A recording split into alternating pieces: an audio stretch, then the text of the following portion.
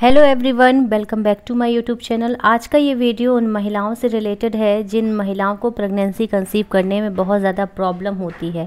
क्योंकि एक्चुअली उन्हें ये पता ही नहीं चल पाता है कि उनका ओव्यूलेशन कब हुआ है और वो कब फर्टाइल पीरियड उनका चल रहा है, कब उन्हें रिलेशन बनाना चाहिए। जिस कारण से वो महँगे से महँगा ट्रीटमेंट लेते हैं, लेकिन इसके बाद भी उनको कंसीव नहीं हो पाता है। तो इस वीडियो में आपको यही जानकारी दी जाएगी, ताकि आपको पता चल सके कि आखिर आपका ओवुलेशन कब होता है? अंडा आपका कब फूटता है? और जब ओवुलेशन होता है, उसी दिन हर महिला कंसीव करने के लिए तैयार होती है।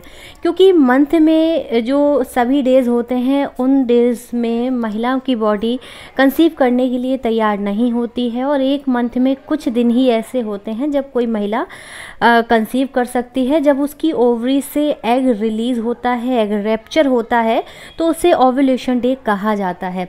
महिलाओं की ओवरी से एक मंथ में एक ही ओवरी से एग रिलीज़ होता है।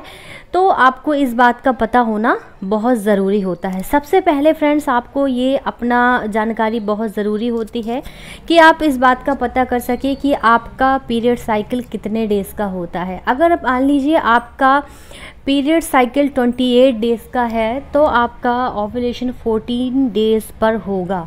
आपको इस बात का पता होना चाहिए कि जब महिला का पीरियड स्टार्ट होता है तो पीरियड के सेकेंड डे से उसकी ओवरीज में छोटे छोटे से फॉलिकल्स बनना स्टार्ट हो जाते हैं नेक्स्ट मंथ के लिए। और उनमें से एक एग ही ऐसा होता है जो कि रैप्चर होता है और पीरियड के 14 डेज़ पर वो एग रिलीज़ होता है और जाकर के फेलोपियन ट्यूब में इस पम्प का वेट करता है। अगर उसी दौरान मेल का स्पम फीमेल के यूट्रस से होता हुआ फेलोपियन ट्यूब तक चला जाता है और एग फर्टिलाइज हो जाता है। तो लगभग सात दिनों तक वह फर्टिलाइज एग आपके ट्यूब्स में ही रहता है फेलोपियन ट्यूब में। इसके बाद, सात दिनों के बाद इम्प्लांटेशन होता है लगभग पीरियड के 22 से 25 दिन के बीच में महिलाओं का इम्प्लांटेशन स्टार्ट हो जाता है, जो कि एंडोमेट्रियम लाइन में जाकर के वो चिपक जाता है। तो फ्रेंड्स आपको कंसीव करने के लिए अपना ओवुलेशन डे जानना बहुत ज़रूरी होता है, क्योंकि ओवुलेशन डे पर ही हर महिला कंसीव करने के लिए तैयार होती है। अगर आपका ओवुलेशन आप ट्रैक नहीं कर पा रहे होते हैं तो आपकी बॉडी में कुछ सिम्टम्स भी होते हैं। जिन सिम्टम्स को पता करके आप कंसीव करने के लिए ट्राई कर सकते हैं। ओवुलेशन का सबसे पहला जो लक्षण होता है, वो यही होता है कि आपका जो बॉडी विशल टेम्परेचर होता है, वो बढ़ जाता है। नॉर्मल जब आप मॉर्निंग में जागते हैं तो नॉर्मल दिनों में आपका टेम्परेचर नॉर्मल रहता है। लेकिन जब आपका ओवुलेशन डे होता है तो आपका टेम्परेचर बॉडी टेम्परेचर बढ़ जाता है तो आप इस तरह से भी तैयार अपने आप को कर सकते हैं। दूसरा एक सिम्टम्स ये होता है कि जब आपका एग रेप्चर होता है तो आपकी वेजाइना के थ्रू एक चिपचिपा सा लिक्विड सा आपको निकलता है जो कि स्ट्रेचेबल होता है।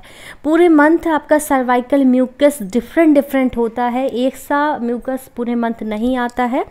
तो जब आपका ये म्यूकस स्ट्रेचेबल हो वाइटी डिस्चार्ज हो तो आप इस बात का अंदाज़ा लगा सकते हैं।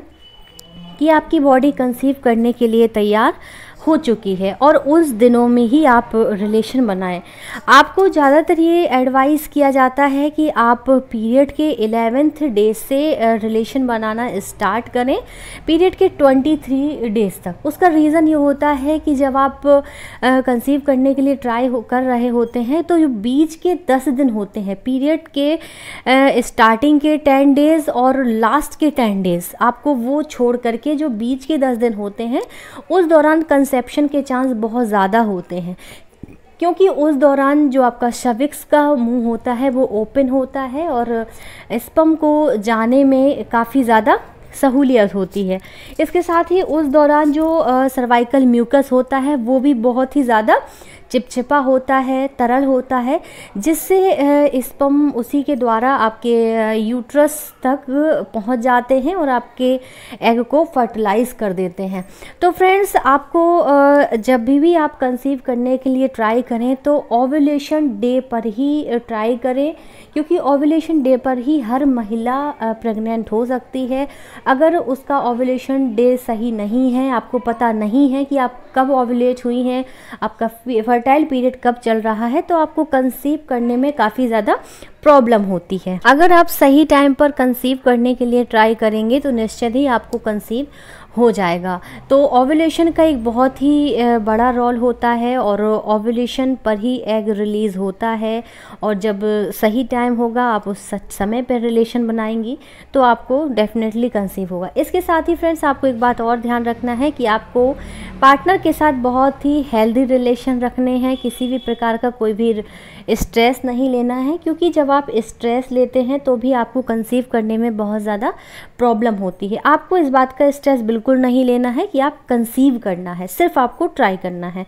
तो आई होप आपको ये वीडियो ये जानकारी अच्छी लगी होगी तो वीडियो को लाइक करें चैनल को सब्सक्राइब करें और शेयर ज़रूर करें।